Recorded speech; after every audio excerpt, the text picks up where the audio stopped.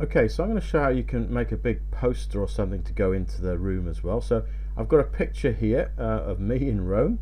Basically, if I check the size of this picture, uh, my image size here in millimeters, you can see it's 282 by 211.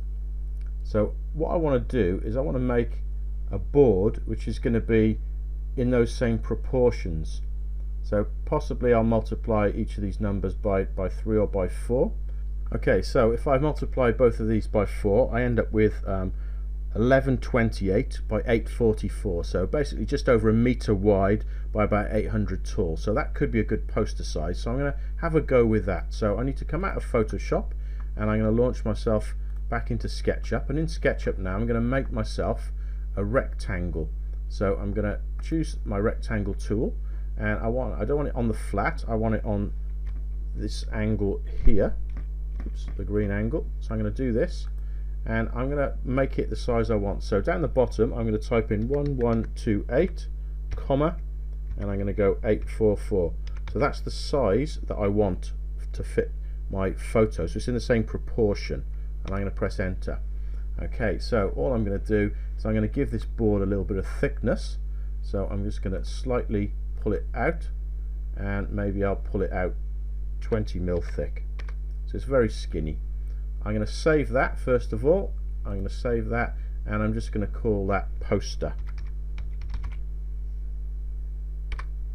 And I'm also going to export it as a 3D model and I'm also going to call that poster. So this is my Collada file and I'll put a capital P.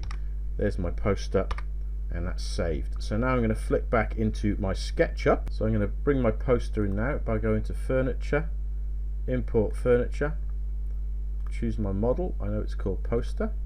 I'll open that and I'll hit Continue.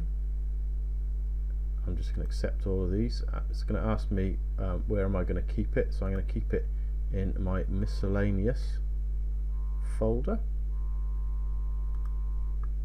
It is movable I'm going to keep it in proportion for now. So these are the sizes that I made earlier. I'm going to hit continue. And I'm going to hit finish. There's my poster. I'm going to drag it out. And I'm going to put it on this kind of wall here.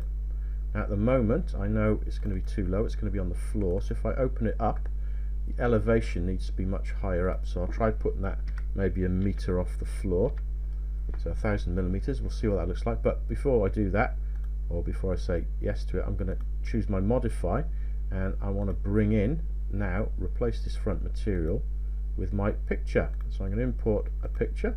I know what it is it's called Rome. I'm going to bring that in. I'm going to keep unchanged on the sizes.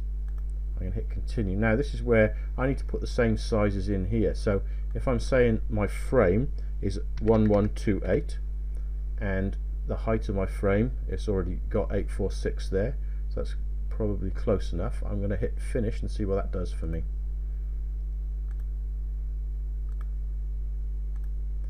And there is my poster on the wall. So behind my desk if I just change the angle of my little man so you can get a bit closer and have a look at it. So really so long as you end up with the same the same size for the frame in proportion to the picture you want to use then it should fit perfectly